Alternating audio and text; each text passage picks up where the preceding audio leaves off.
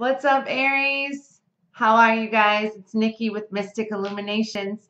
I'm here to give you a reading for August, and it's going to be for the whole month of August, just for you guys. I'm going to do three cards, and I'm also going to throw in a goddess bonus. So it's going to be a very exciting month, and August is going to ignite a lot. So I just wanted to really focus this energy all about you, Aries. Send you a bunch of Reiki, and I'm sending you a lot of love. Thank you for being here.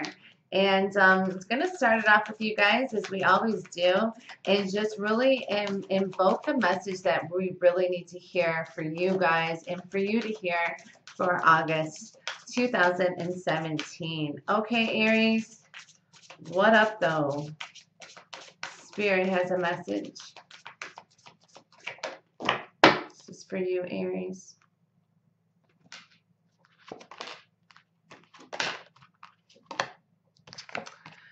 Movement and decisions.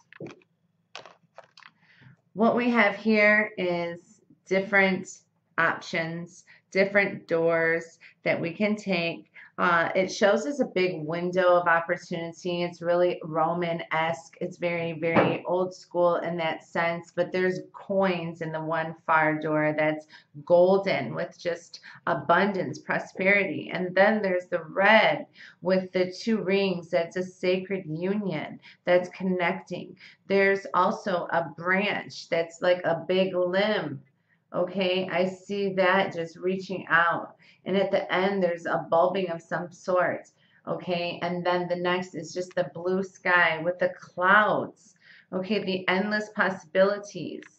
Um, going out on a limb for somebody perhaps because there could be a deception envy happening okay so August is really going to also reveal who these people are. For some of you, they're envious of everything that you do, but they haven't really shown that they feel that way. You feel that these people portray something else, but now that the mask is kind of like being lifted from their eyes, you're able to see the deception. So be really weary at some points if you get that thought about a certain individual in August, especially because this is really kind of bringing out the envy, the green, um, the eyes of, you know, just kind of like daggering a negative vibe towards you, which you really don't need to um, absorb.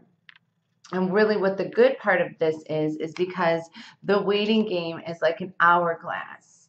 And that's backed up with you letting you know that yes, it's going to take a little time for you to bounce back from a feeling that maybe made you feel like, wow, how did I trust this person?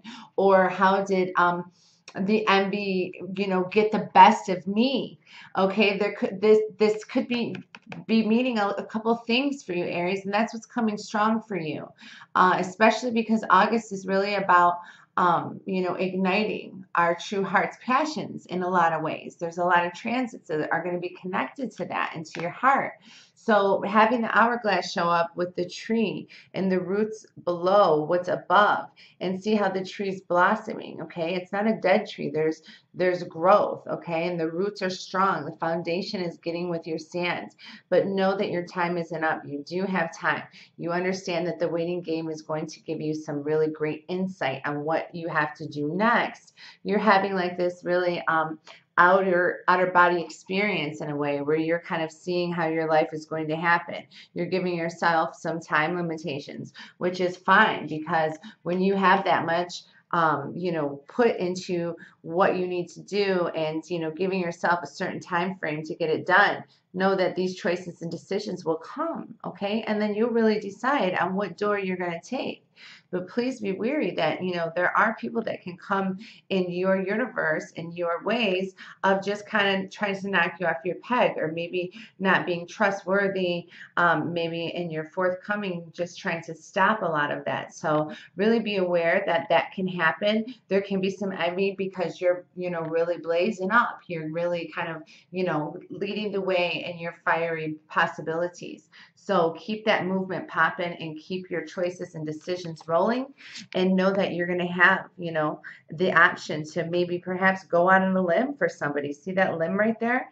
You know, um, the sky is really kind of shining in as well. So there's movement in that. You know, you want to fly high, You want to get a sacred um, decision here? You know, there's going to be options. They can be tied in together, you know. But give yourself that time and know how much you're going to have to take. August is really going to have to be about, you know, making that decision and having it be connected to your destiny because really that's also a faded feeling. So yes, I'm feeling that for you guys.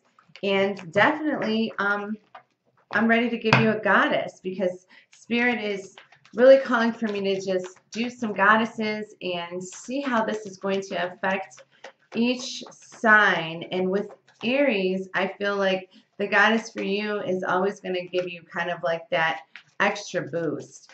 And for each and every one of us especially, but Aries, this goddess is purely meant for you, so you can invoke this energy, especially for the whole month of August. All right, Aries, this is your goddess.